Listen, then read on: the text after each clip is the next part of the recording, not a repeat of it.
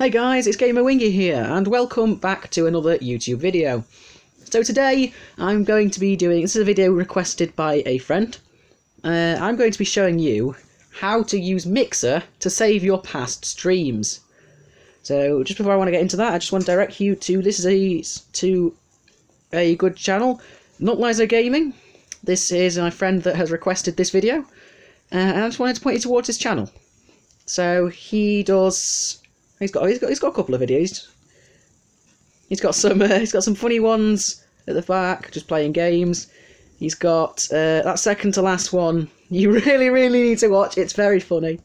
And he started with a new video yesterday. It's a really really nice channel, and he really really wants those ten subscribers. so if if if, if you could uh, just do me a favour and go and like the channel or subscribe just check it out, just consider it. I will leave it down in the description below. But without further ado, let's get into today's video.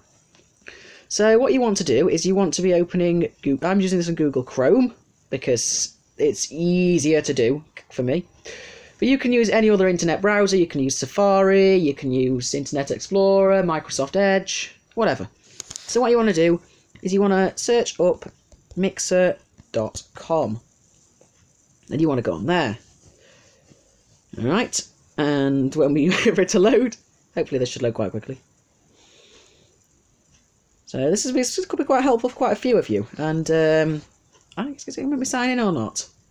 This could be quite helpful for a few of you because it's not actually obvious. But when you use Mixer and you do streams, they don't actually save by themselves. There are things you need to do first. So, now, let me just check a setting. Okay. So what you want to do is you want to click on your little icon in the top right. Uh, obviously, you might have to sign in first. If so, there'll be a little sign in part where it's where the uh, little button is in the top corner. And then you want to go on Broadcast Dashboard.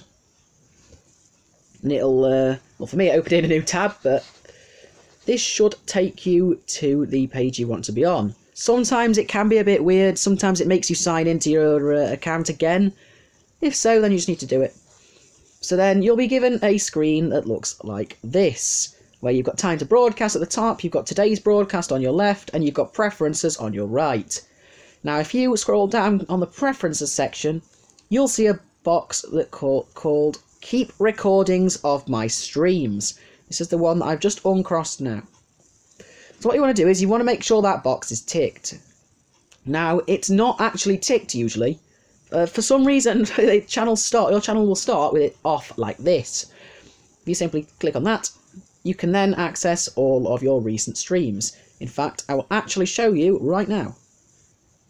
So, you go onto your Mixer app, then when it loads, I just screwed that up. Okay, change of plan. I'm not actually going to show you it in the app because that will change the way that my it'll, it'll turn my it'll turn my screen around, and that's not going to be very fun for anyone watching the video.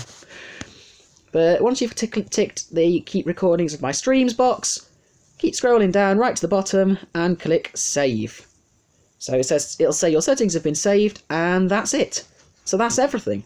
That is all you need to do. And then you can go to if you look at your past streams, you'll see I have two here.